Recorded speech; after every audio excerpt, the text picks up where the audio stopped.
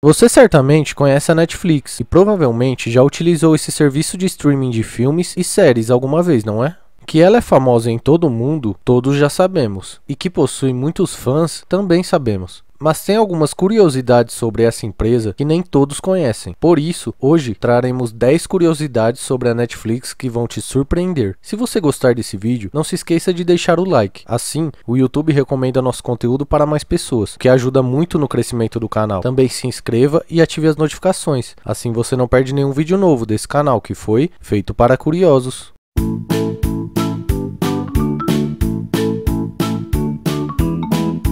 Mais antiga que o Google. Você achou que quando o Google chegou na internet ainda tudo era mato? Então você se enganou. Isso porque a Netflix foi fundada em 1997, um ano antes que uma das maiores empresas de tecnologia do mundo, a Google, fosse lançada. Entretanto, a ideia da Netflix era muito diferente do que ela é hoje em dia. Antigamente, o atual serviço de streaming foi fundado com o objetivo de ser uma locadora de DVDs, com entrega por correios. A ideia surgiu de Reed Hastings, fundador e CEO CEO da Netflix, quando a Blockbuster cobrou 40 dólares por ele ter atrasado a devolução de uma fita cassete. Ao se sentir triste com a situação, Hastings se motivou a criar a sua própria empresa de alugar filmes, que futuramente mal sabia ele que se tornaria a maior plataforma de streaming do mundo, primeira série original da plataforma. A Netflix lança diversos conteúdos originais todos os meses, mas quase ninguém se lembra do primeiro. A primeira série original do serviço foi Example Show, um projeto que estreou em 2010 e que tem apenas dois episódios com 11 minutos de duração cada um. Trata-se, na verdade, de apenas um teste que viria a ser um grande destinatário de investimento por parte da empresa no futuro. O primeiro filme original da plataforma.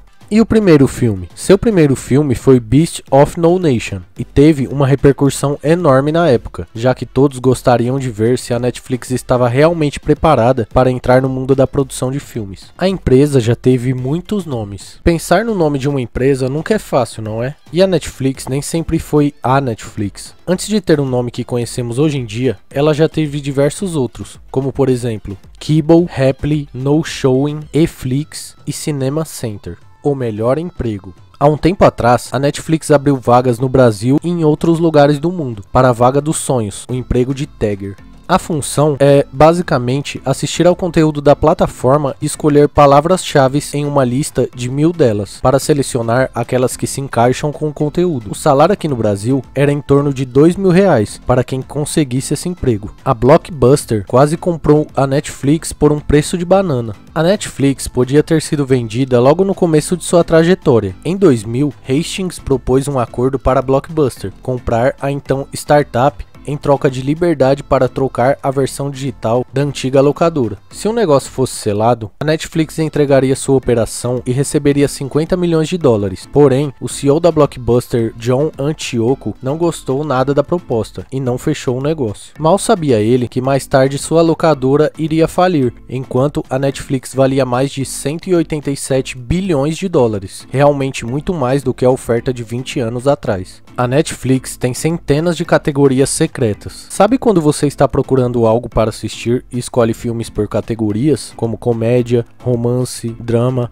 ação e aventura? Então, existem categorias secretas na plataforma que são muito mais específicas do que um gênero amplo, como apenas suspense, por exemplo. Para utilizar, basta colocar o link e o código no final, tendo assim acesso a essas categorias secretas. Esses são alguns códigos.